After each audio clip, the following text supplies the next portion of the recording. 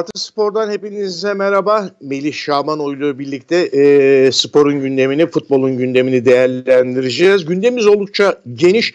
Melih ne dersin? E, Türkiye içinden mi başlayalım yoksa e, dün gece oynanan Şampiyonlar Ligi maçından mı başlayalım?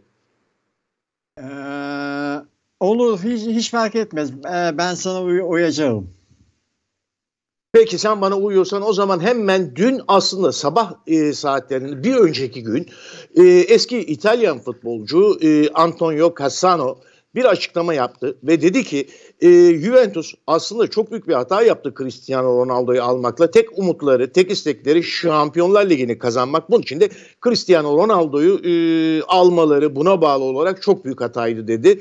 Ve e, arkasından da dedi ki Pirlo yeni bir oyun, oyun inşa etmek istiyor. Rakiplere baskı yapmak ve çizgiler arasında oynamak Cristiano'nun yapacağı bir şey değil. Şampiyonlar Ligi'ni kazanamazsa kötü bir yönetim olacak dedi ve dün akşam e, Juventus Porto'yu 3-2 yenmesine karşın ilk maçtaki skorun e, dezavantajıyla elendi ve Cristiano Ronaldo bombası patlamadı diyelim ama en azından görüldü ki e, futbol bir takım oyunu ve hiçbir zaman bir eleman, tek bir eleman skoru değiştirmek için yeterli değil. Kesinlikle. Kesinlikle. Yani e, Juventus aslında e, büyük bir e, e, başarı öyküsüne imza attı. O, o şike meselesinde küme düştükten sonra e, iki, ikinci ligden e, yeniden çıktı ve hani büyük bir hakimiyet kurdu. E, kulübün e, içinde ona göre yenilemişti. E, büyük bir hakimiyet kurdu. Yanılmıyorsam son 7 yılın üst üste şampiyon diye hatırlıyorum. E, Serie A'da. Serie A'da öyle hatırlıyorum.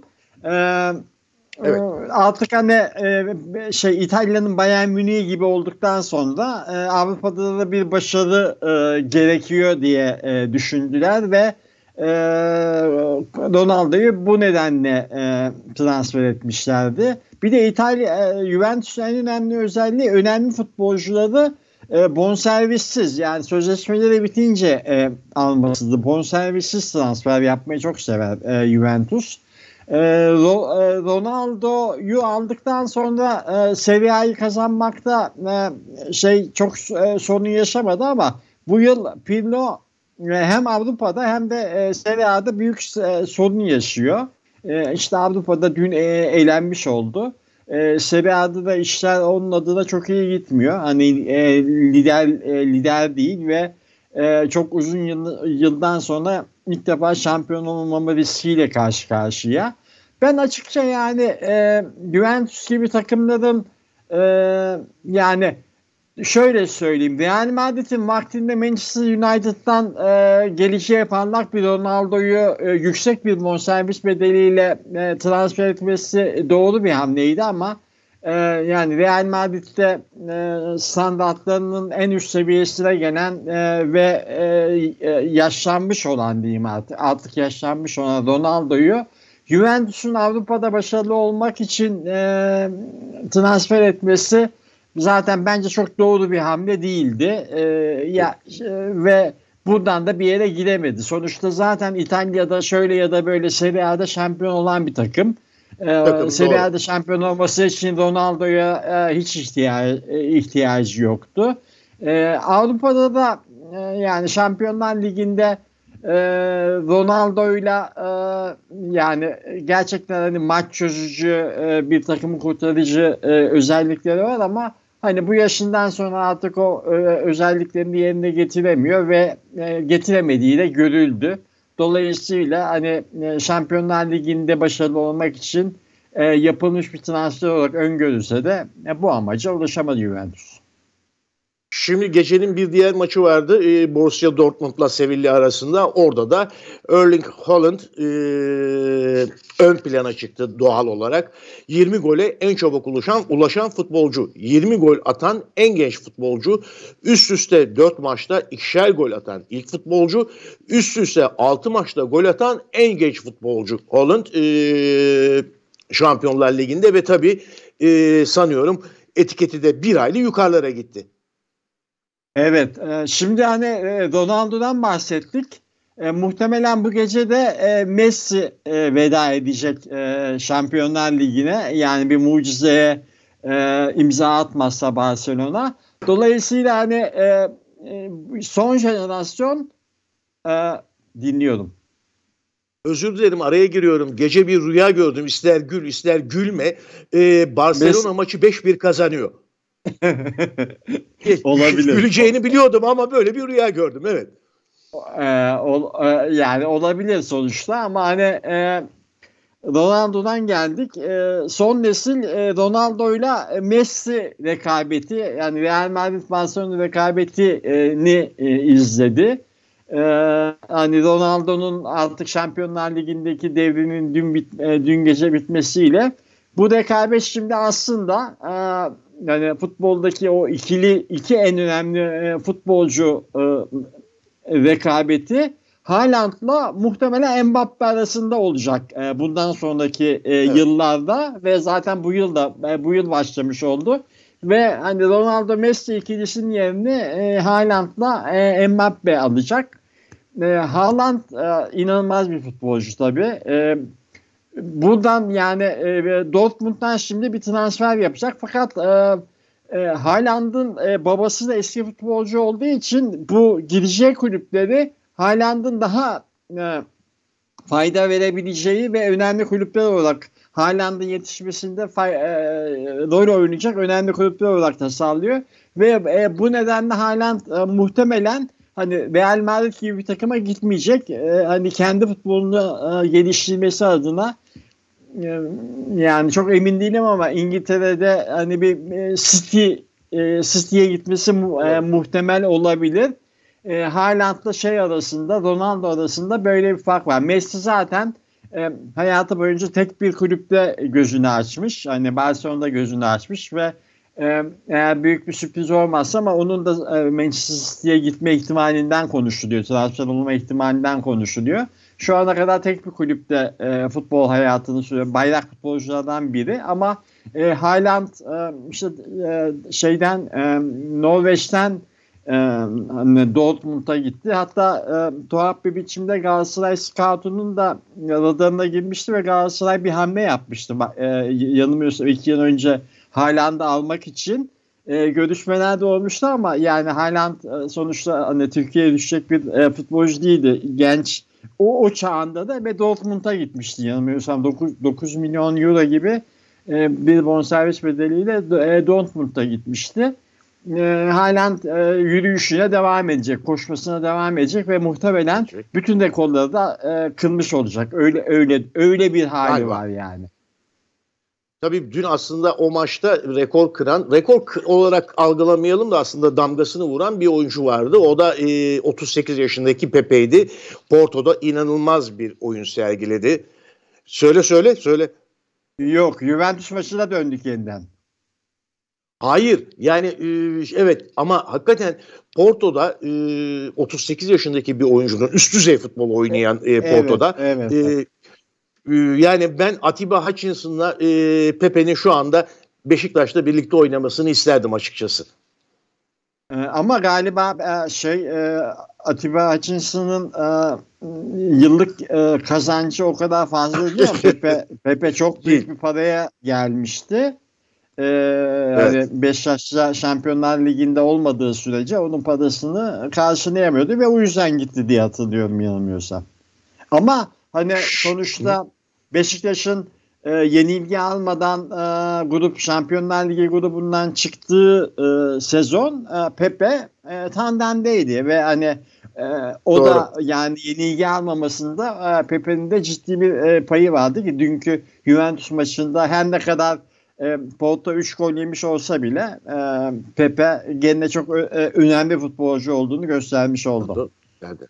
Şimdi e, hep Avrupa'dan gidiyoruz sonra e, Türkiye'ye döneceğiz ama Avrupa'dan önemli bir örnek var. Joachim Löw Alman Futbol Federasyonu'na diyor ki 2000 bu yıla ertelenen 2020 Avrupa Futbol Şampiyonası'nın ardından ulusal takımdaki görevimi bırakmak istiyorum.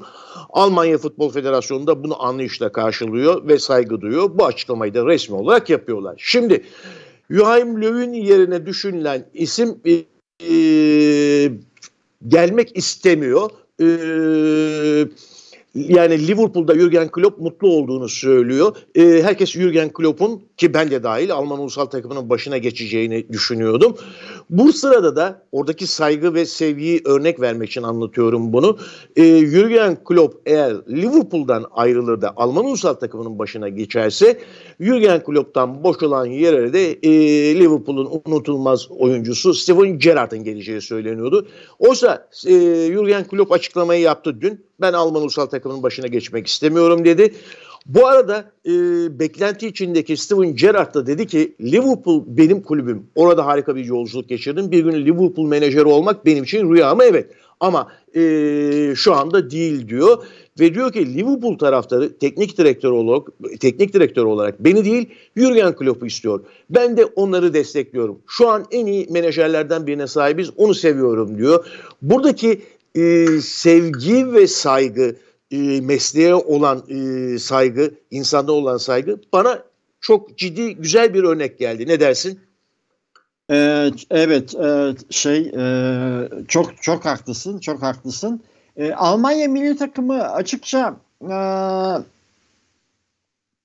yani Herberger e, 1954'te Dünya Kupası'nı kazanan e, Sepp Herberger ile beraber bir ekole e, imza atmış bir e, takımdı.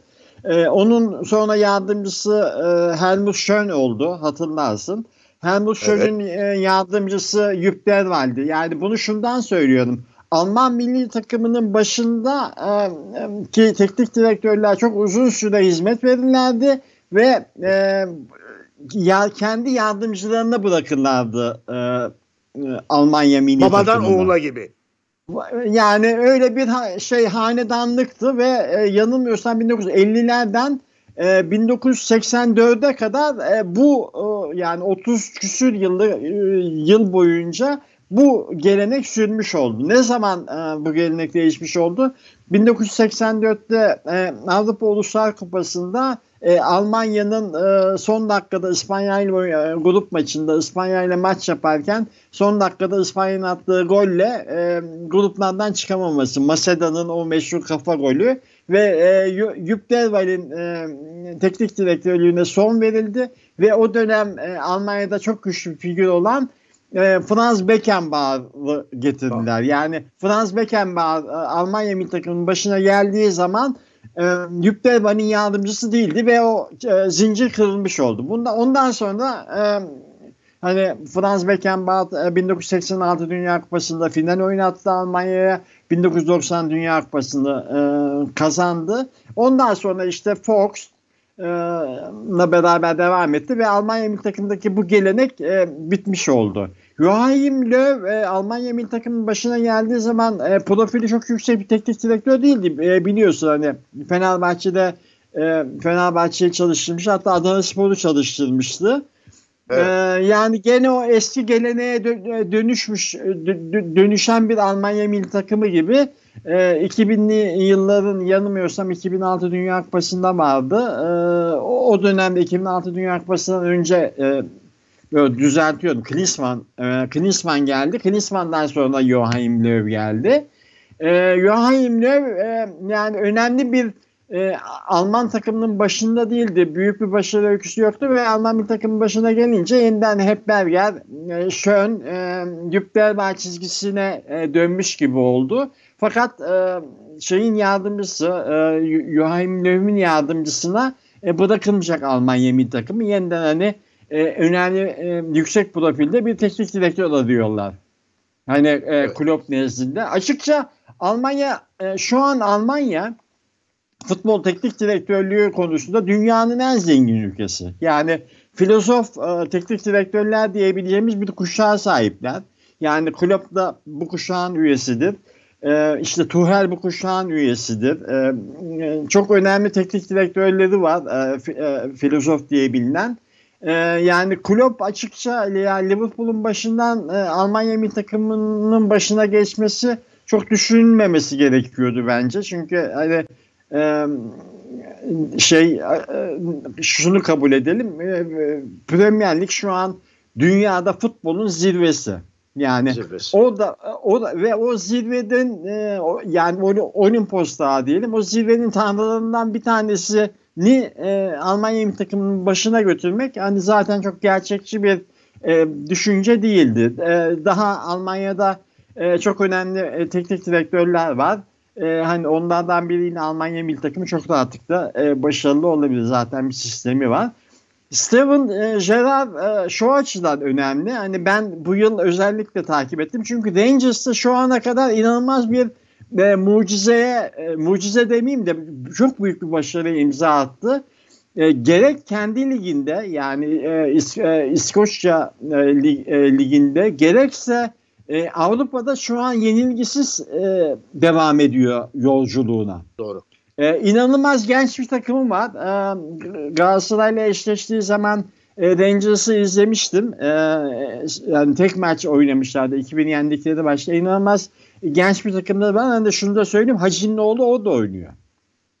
Ee, evet. Yanis e, o da oynuyor ve hani Avrupa e, UEFA liginde e, son son 16'ya kaldı yanlış hatırlamıyorsam. Yok düzeltiyorum. Son 32'ye kaldı. E, çok başarılı ve e, Liverpool için düşünülüyor olması ve eski Liverpool'da futbolcu olması tabii ki çok güzel ama yani e, muhtemelen Steven Gerrard da e, şu an şampiyonluğunu ilan etti Rangers. Yani e, evet. Mart ayında e, şampiyonluğunu ilan etti. Uzun yıllardan sonra ilk defa Rangers e, şampiyon oluyor. 10 yıl. E, 10 yıl sonra. Evet. E, ilk kez şampiyon oluyor. Liverpool için düşünülmesi güzel aslında yani Steven Gerrard orada biraz tevazu göstererek hani ben ben şu an Liverpool ayarında değilim e, demiş de oluyor. Ama hani Klopp'tan sonra bence Liverpool'un gitmesi gereken teknik direktörlerden e, teknik direktör adaylarından en önemlisi bence Steven Gerrard olmalı yani. Çünkü yani hem Liverpool'u iyi biliyor bir de e, açıkça e, Rangers e, tecrübesi üstünden e, bir futbol felsefesi olduğunu ve o futbol felsefesini sahada çok rahat uygulayabildiğini e, gösterdi. E, bence hani Klopp'tan sonraki e, ilk aday e, Gerard olmalı ve oraya gelmeli. Öyle düşünüyorum. Şimdi e, bir de olayın e, sosyopolitik yönü var. O da Rangers'ın şampiyonluğuna ilgili. Şöyle ki İskoçya Başbakanı hanımefendi e, bir açıklama yaptı. E, şampiyonluk kutlaması İskoçya'da sokaklarda Rangers'ın 10 yıl sonraki şampiyonluk kutlamasında ne pandemi kuralları ne hiçbir şey kale alınmadı. Herkes sokaklarda el ele kol kola ve e, başbakan kötü şekilde fırçaladı yurttaşları. Ve bunun Avrupa'da akısları oldu. Şimdi herkes kara kara düşünüyor. Ya bizde de yani şampiyonluk olduğunda ki genelde böyle olur. Acaba e, o taraftarları nasıl dizginleyeceğiz sokaklarda bu pandemi kurallarında diye. Aynı şey Türkiye için de geçerli, İngiltere için de geçerli, e, Almanya için de geçerli, İtalya için de geçerli. E, herkes hakikaten futbolun sonu gelirken, liglerin sonu gelirken kaygı şampiyon olan takımın taraftarlarının, yandaşlarının e, sokaklarda e, pandemi kurallarını hiçe sayarak e, coşması bu bir kaygı. Şimdi Avrupa'daki teknik direktörlerden söz etmişken e, oradaki düzenden üstelik bir de bir yerarşi var orada. Ee, bir başarı gerekiyor, bir, bir altyapı gerekiyor bir takım başına gelmek için. Türkiye'deki komediye dönelim. Şimdi dün akşam e, çıkartmaya çalıştım fakat çok yoğundum. Gençler Birliği Teknik Direktör Mehmet Altıparmak'la yollarını ayırdı ligin son basamağındaki. Sonra düşündüm Mehmet Altıparmak bu yıl kaç kulüpte görev yaptı? İşin içinden çıkamadım. Galiba ya 3 mü, 4 mü, 2 mi e, çözemedim ama hakikaten e, komik. Kasımpaşa'da Akabinde, çalıştı onu hatırlıyorum. Kasımpaşa'da çalıştı, Kasımpaşa'da çalıştı. Aynı şekilde dün bir başka gelişme daha oldu. E, Malatya Spor Hamza Hamzoğlu ile yollarını ayırdı. İrfan Buz'la anlaştı. Aynı şey İrfan Buz için de geçerli. Kaç tane takımda çalıştı bu sezon? Onun da bir Kasımpaşa geçmişi var. E, bir kulüp daha var. Evet. Ben de karıştırdım. Ben de karıştırdım. Şimdi neden bizde böyledir? Bir kulüp başkanı, e, kulübün yönetim kurulu üyeleri neden oturup önlerine bir 3 yıllık, 2 yıllık plan yapmazlar, günübirlik yaşarlar? E, ne kadar kötü bir şey. Bir futbol kulübünün, bir e, şeyi olması lazım. Kalkınma programı olması lazım. Şu dönemde böyle yapmalıyız. Bu takımı bu yürütmeli. Başarısız sonuçlar alabilir. İki başarısız, üç başarısız sonucun ardından fatura teknik direktöre kesiliyor. Bir kardeşim siz futbolcuların ödemesini yapıyor musunuz? Sezon başında teknik direktörün istediği futbolcuları transfer ettiniz mi? E, transfer ettiğiniz futbolcuların sosyal hakları ödeniyor mu? Hemen teknik direktöre kesiliyor fatura bilmiyorum sen ne dersin? Ee, yani bunu e, yanılmıyorsam programda e, üç defa konuştuk hani e, teknik direktör kıyımını e, hani yeniden e, yeniden konuşuyoruz çünkü e, hala devam ediyor yani ligin bitmesine devam ediyor. E, 12 hafta mı kaldı? E, 13 hafta mı kaldı? Tam e, şey yapmıyordum. E, Söylüyorum 13 hafta, sana hemen. Ee, Aa, 1, 2, 13, 3, 4, 5, 6, 7, 8, 9, 10, 12, 13 hafta kaldı. 13 hafta kalmış olmasına yani e, işlerin oturmuş olması gerekiyordu. Sonuçta 42 haftalık bir ligden bahsediyoruz. E, evet. 13 hafta kalmış olmasına rağmen hala e, bu teknik direktör sirkülasyonu e, kıyımı diyelim e, devam Kıyım. ediyor. Burada da tabii ki tek tek kıstas maalesef hani küme düşme tehlikesi yaşayan ve küme düşme riskiyle karşı karşıya karşı karşıya olan kulüpler e, sürdürüyorlar bu e, teknik direktör kıyımını. Bu arada konuşmadık ama e, Sumidika da gitti vizeden. Ha tabii tabii Rize Spor'dan evet e, Sumedika da gitti ve Sume yaptığı ve Bülent Yıldırım e, geliyor bildiğim kadarıyla. Hani geldi evet, daha doğrusu dün açıklandı. Anlaşmışlar. Dün geldi. Hani e, daha önce e, burada da konuşmuştuk. Hani Sumidika e, Türkiye'de kendini ispatlamış, kanıtlamış bir teknik direktör. Hani Rize'nin de orta vadede e, iyi bir te, e, takım olacağını hatta gelecek sezon e, ilk 4-5'e oynayabileceğinden bahsetmiştik. Fakat 5. E, haftada yanılmıyorsam yani Sumidika gelmesinden 5 e, hafta e, sonra e, bir galibiyet henüz bir galibiyet elde edememesi nedeniyle Sumidika ile yoldan ayrıldı ve hani Rize Spor bence hani e, Bülent Uygun'u getirerek e, kendini e, daha da bir e, riske atmış oldu. Bu şeyi gösteriyor yani Sumidika gibi bir teknik direktör yani Sumidika belli bir futbol felsefesi olan bir sistemi olan bir teknik direktör ve e, onu onu getirmek demek aslında planlı davranmak anlamına geliyor. Onu planlı davranmış gibi görünen Rize Spor bile hani 5 haftada e, o teknik direktörüne hayat hakkı ver, e, vermemiş oldu ve e, onunla yolda da ayırdı.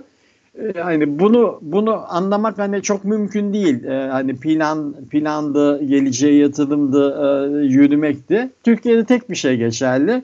Eğer e, küme düşme tehlikesi yaşıyorsanız e, 3 puanlara ihtiyacınız var yenilgi, yenilgi almamalarına ihtiyacınız var. Bunları almadığınız e, sürece de e, bütün teknik direktörler e, tehdit altında. Yani Okan Buruk olayını yaşadı Türkiye. Yani bir önceki yıl şampiyon yapmış teknik direktörle yani başarı sonuçlar alınca e, yollarını ayırmış oldu e, Başakşehir.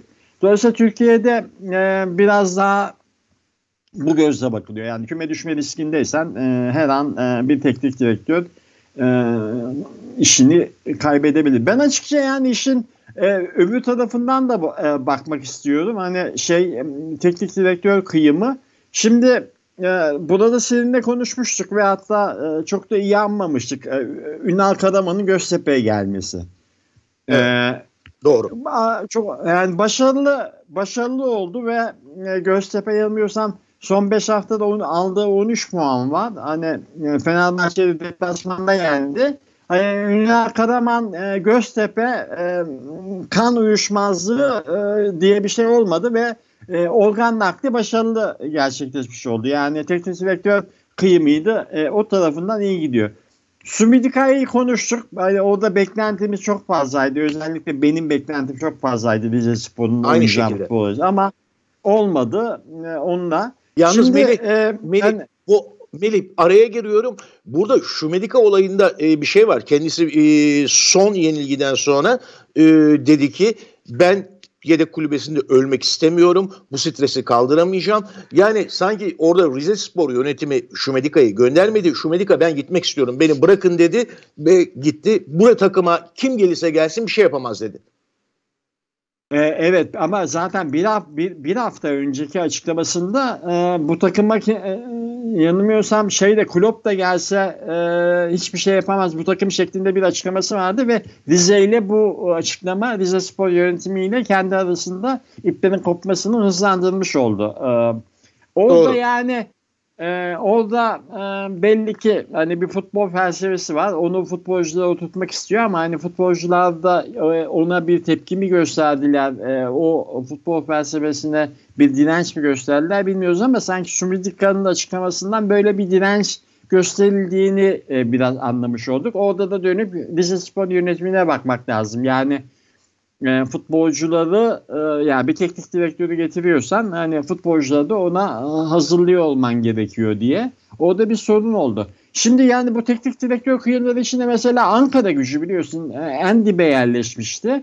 E, Hikmet Karaman'ı getirdi ve Hikmet Karaman hani son iki maçta aldığı e, puanlarla Alt hani e, ön, önce Galatasaray'ı bir hemen e, küme düşme e, çizgisinin e, odalara getirdi yani e, Ankara gücünün. E, 18. durumda. Ya bir 18. E, durumda e, 26 puana sahip. E, e, bir dakika Ankara Gücü 26 puana sahip. Erzurum 26 puana sahip. Denizli Spor 24, Gençler Birliği 21. Evet, e, Ankara Gücü e, en dipteydi. E, şey iki yukarı çıkmış oldu ve e, e, Erzurumspor'u yakaladı. O da yani Hikmet Karaman sanki e, ligde tutacakmış gibi duruyor bu açık, e, bu gidişat içinde. Hakan Kutlu getirildi. Deniz Spor'un yanılmıyorsam 3. teknik direktörüydü. Hakan Kutlu da e, hani e, onun döneminde de puan almaya başladık. Yani bu hafta e, yanılmıyorsam e, e, şey e, e, Denizli Spor e, önemli bir galip önemli bir galibiyet evet. aldı ve ya e, önemli bir galibiyet. Keza mesela Kayseri Spor hani teknik direktör değişimi yaptı. O da e, biraz toplamış görünüyor. Şimdi hani daha önce konuştuk her teknik direktör değişimi e, takımda e, yeni bir doping etkisi yaratabiliyor. Bundan yararlanan takımlar var, yararlanamayan takımlar var ama e, en başta senin de, demiş olduğuna dönecek olursak e, bunlar bir plan proje çerçevesinde değil yani bir gelecek geleceğe yatırım çerçevesinde değil sadece günü kur, e, günü kurtarmak günü e, anlamında teknik direktör e, değişikliğine gidiliyor. Bu da böyle yani devam edecek. Biz muhtemelen e, 20 kez falan daha konuşuruz bunu herhalde. Konuşacağız. Şimdi Karadeniz'den Rize'den girmişken e, bir yatay geçişi yapalım. Trabzon'a gelelim. E, Trabzonspor Kulübü'nün hafta içinde e, önemli bir açıklaması oldu. Özetle diyor ki Türkiye Futbol Federasyonu 1923 tarihinden beri FIFA'nın 1962 yılından beri de UEFA'nın üyesidir ve bağlı olduğu FIFA ve UEFA düzenlemelerine uyma mecburiyetindedir. Ve e, özetle söylemek istedikleri, söyledikleri şu, adalet ülke futbolumuzun bir numaralı sorunu haline gelmiştir. Ve e, buna bağlı olarak da sen metnin komple biliyorsun, gayet iyi okudun. Ama evet. futbol e, izleyicilerimizi aydınlatalım ve şöyle bitiyor. Sevgili futbol kamuoyunu bizler adaletsizlikten pay değil adalet istiyoruz. Herkes için, her kulüp, her kulüp ve herkes kişi için, her kişi için eşit şartlarda adil ortamın sağlanmasını istiyoruz. Futbol oyunun fair play, adil olmasını istiyor, bekliyor ve talep ediyoruz. Trabzonspor, kulübü olarak bunun öncüsü olsak bile bu standardı tüm kulüplerimiz ve futbol ailesiyle birlikte sağlamak zorundayız. Ülkemiz için en sevdiğimiz oyun olan futbol için hep birlikte mücadele edeceğiz ve hep birlikte başaracağız diye bir serzenişi var ve bu e, FIFA'ya bu mektubu yolluyor. Yani e, Avrupa İnsan Hakları Mahkemesi'ne e, Türk adaletini şikayet etmek gibi bir şey bu. Eş değerde FIFA'ya göndermek. Evet, bunu şimdi bir arka planı var aslında. E, bu bunu ben daha çok önemsiyorum arka planını. E, geçen yıl e, Avrupa İnsan Hakları Mahkemesi e, önemli bir karar aldı. Bu kararın adı da e, yanılmıyorsam e, Ali Rıza ve diğerleri e, diye geçiyor. E, e, karar başlığı böyle. E, 2007 yılında yanılmıyorsam Trabzonspor'da oynayan e, çifte çifte vatandaşlığı hakkı olan Ali Rıza adlı bir futbolcunun sözleşmesi Trabzonspor e, tek taraflı feshediyor. E, Ali, e, Ali futbolcu Ali Rıza da e, federasyona başvuruyor. E, işte e, tahkime gidiyor e, bu kararın değişmesi için. Fakat tahkim e, değiştirmiyor. E, uzatmayayım. Türkiye'de iç hukuk e, yollarını tükettikten sonra Ali Rıza e, Avrupa e, Avrupa İnsan Hakları Mahkemesi'ne gidiyor ve e, bu, vaktinde gitmiş olduğu bu mahkemenin kararı e, geçen yıl belli oldu ve e, Avrupa İnsan Hakları Mahkemesi bu kararında çok önemli bir tespitte bulundu ve dedi ki e, Türkiye'de dedi e, tahkim kurulu e, bağımsız e, ve şeffaf bir şekilde görev yapmıyor dedi. Yani Avrupa İnsan evet. Hakları Mahkemesi'nin e, kararı bu. E, buna ek olarak e, Türkiye Büyük Millet Meclisi Kamu Denetçiliği Kurumu da e, yine e, bu karardan e, esinlenerek e, e, bu yılın e, Ocak ayında e, bir karar verdi. O da e, Türkiye Futbol Federasyonu kurullarının bağımsız olmadığını, kurul kararlarının gerekçeli olarak açıklanmadığını, e, bu açıdan e, kararların işte kanunlara uygunluk, şeffaflık, hesap verilebilirlik ve kararların e, gerekçeli e, olarak verilmemesi nedeniyle e, Türkiye e, Futbol Federasyonu kurullarının yenilenmesi ve hani bir sistem içinde artık bağımsız ve şeffaf karar verecek bir sistem içinde e, olması gerektiği yolunda bir karar verdi. Trabzonspor e, FIFA'ya giderken e, bu konuda arkasında bu iki tane karar var. Yani bir Avrupa İnsan Hakları Mahkemesi'nin e, verdiği karar var. E, bir de Türkiye'de e, Türkiye Büyük Millet Meclisi Kamu Demetçiliği e, kurumunun vermiş olduğu karar var. Bu o, ben bunu önemsiyorum yani Trabzonspor'un e, FIFA'ya başvurmasını önemsiyorum. Hoş e, FIFA'da hani ne kadar e, güvenilir bir kurumdur e, onu da 3 e, aşağı 5 yukarı tahmin Tartışılı. edebiliyoruz. E, yani sadece e, hani son dönemde e, ki dedikoduları hatırlayalım. Yani 2022 Dünya Kupası'nın e, Katar'a verilmesi esnasında e, o karara e, oy veren e, delegelere e, dönen verilen rüşvetler falan hani bunlar basına yansıdığı için e, konuşmuş oluyoruz. E, FIFA aslında UEFA için de geçerli e, bu dediklerimiz. Yani şimdi Türkiye Futbol Federasyonu'na yönelik konuşurken hani Türkiye'nin içinde bulunduğu siyasi ve e, hani sosyal şartlar içine değerlendiriyoruz ve Türkiye Futbol Federasyonu'nun bir çürüme içinde olduğundan konuşabiliyoruz. Fakat e, Avrupa'ya baktığımız zaman aslında bu çürümenin yani futbol dünyasında global ölçekte bir çürüme olduğunu e, düşünüyorum ben. Hem UEFA'da e, hem e, FIFA'da, FIFA'da. Yani bugüne kadar e, herhalde onlarca yüzlerce skandal oldu. Hani rüşvet skandalı e, başta oh. olmak üzere. Dolayısıyla orada değişmiyor işler. Bir şekilde yani e, dünyanın e, futbol e, yönetiminde ciddi bir sorun var. Yani bunu şundan söylüyorum. Trabzonspor'un FIFA'ya e, bu tahkim kurulu ve profesyonel futbol e, disiplin kurullarının bağımsız olmadığı yolundaki şikayetini e, ciddiye alacak kurum da e, o, o konuda çok kendisine güvenilir, e, şeffaf ve e, adil karar verdiği e, bilinen bir kurum değil. Gitmesi iyi bir şey ama hani Trabzonspor buradan da ne sonuç elde edecek? E, bundan çok emin değilim. Yani bir sonuç elde edebilecek mi? Ama biz şeyi unutalım. Hani FIFA e, doğru bir karar vermeyebilir ama e, şu nur saptamak doğru olacak. E, ne Profesyonel Futbol e, Disiplin Kurulu ne de Tahkim Kurulu Türkiye Futbol Federasyonu'ndan e, bağımsız bir şekilde e, özgür bir biçimde ve adil bir biçimde karar vermiyor. Aslında bunun tescillenmesidir bu e, hem Avrupa evet. İnsan Hakları Mahkemesi'nin kararı hem de Türkiye Büyük Millet Meclisi Kamu Denetçiliği e, Kurumu'nun kararı. Şimdi aslında ben buradan şuraya gelmek istiyorum. Geçen hafta e, Trabzonspor Başkanı Ahmet Ağoğlu bunu e, yanılmıyorsam Kasım, Kasımpaşa maçı e, çıkışında e, açıklamıştı e, FIFA'ya gidece, e, gideceklerini. O Ahmet Ağaoğlu'nun e, açıklaması içinde şu da vardı. E, hani bu o, Merkez Hakem Komitesi'nden de söz etmişti e, Ahmet Ağoğlu ve Merkez Hakem Komitesi'nde işte e, bir hanedan e, hanedan silsileri silsilerinden bahsetmişti. İşte babadan oğula geçen e, hakemlik müessesesi ve burada e, 3-4 tane yapı olduğunu hem Merkez İlkem Komitesi değiştiğinde sadece bir yapının e, başa geldiğini ama aslında hiçbir şeyin değişmediğinden söz etmişti. Şimdi e, e, biraz e, e, bir çember atarak gelmiş olacağım. Şimdi hani bakıyoruz e, bu babadan oğula geçen hanedanlıklar işte e, Merkez Komitesi'nde işte Muzaffer Sarvan, Oğuz Sarvan, Oğuz Sarvan şu anki Merkez İlkem Komitesi'nde e, önemli e, önemli isimlerden biri. İşte Serdar Çakır, Cüneyt Çakır yani onu biliyoruz. Galip Bitigen, Abdülkadir Bitigen bunlar hep babadan oğula geçen hakemlik meslekleri. İşte Selami Şimşek, Bahattin Şimşek.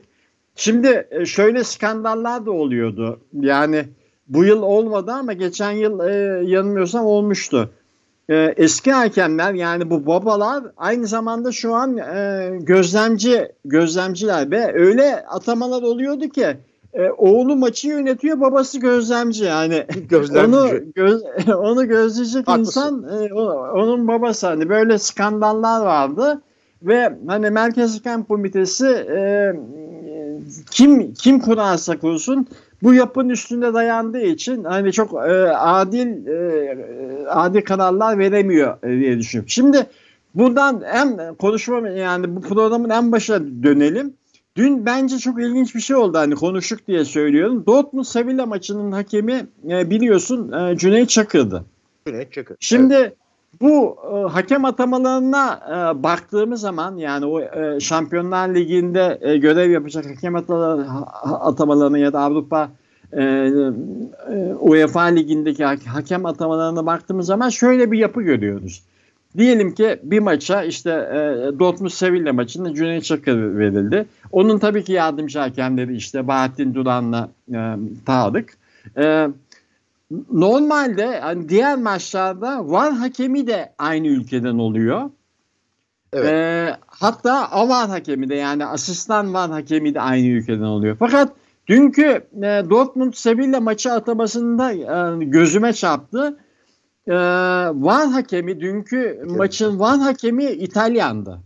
Yani normalde bir Türk hakemi at- atanması gerekirken çünkü diğer e, maçlarda bir İngiliz hakemini bir maça atıyorsa Van hakemi de İngiliz oluyor. Yardımcı hakem de İngiliz oluyor. Dördüncü hakem de İngiliz oluyor. Asistan yardımcı Van hakemi de İngiliz oluyor. Fakat dün e, o, e, o atama çok e, dikkatimi çekti. UEFA'nın atamasında VAR'a e, İtalyan bir hakem atadı. Yani Türk hakemin Cüneyt Çakır'ın altında bir İtalyan hakem atadı ve e, dünkü maçta da inanılmaz bir şey oldu biliyorsun. Haaland'ın ikinci evet. golünde Cüneyt Çakır golü verdi. Fakat evet. İtalyan var hakemi uyardı onu. E, Kaleci çizginin üzerinde dönüştü. durmadığı için e, penaltıya dönüştürdü onu. E, penaltıyı kullandı. E, şeyin kalecisi Sevilla'nın kalecisi kurtardı. Orada Tarık Ongun da baktım yani şeyin çizgide duruyor ve e, Sevilla kalecisi penaltıda çizgide durmayıp e, öne hareketlendiği için yeniden e, atılması gerekiyordu. Cüneyt Çakır yeniden oynattı maçı ve Var hakemi, İtalyan var hakemi yeniden e, devreye girerek o penaltının e, atılmasını sağladı ve e, Haaland ikinci golünü öyle atmış oldu.